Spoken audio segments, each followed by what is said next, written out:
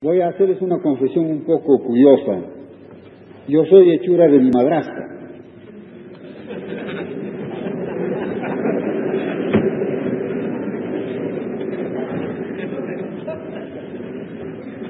Mi madre murió cuando yo tenía dos años y medio. Mi padre se casó en segundas nupcias con una mujer que tenía tres hijos. Yo era el menor y como era muy pequeño, me dejó en la casa de mi madrastra, que era dueña de la mitad de un pueblo. Tenía muchos, mucha servidumbre indígena y el tradicional menosprecio e ignorancia de lo que era un indio.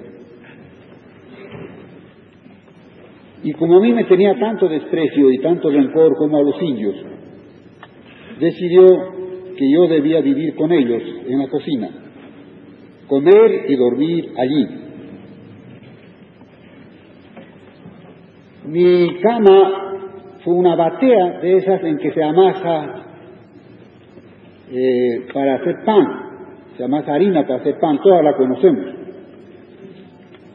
Sobre unos pellejos y con una frazada un poco sucia pero bien abrigadora. Pasaba las noches conversando y viviendo tan bien que si mi madrastra lo hubiera sabido, me habría llevado a su lado en donde sí me habría atormentado.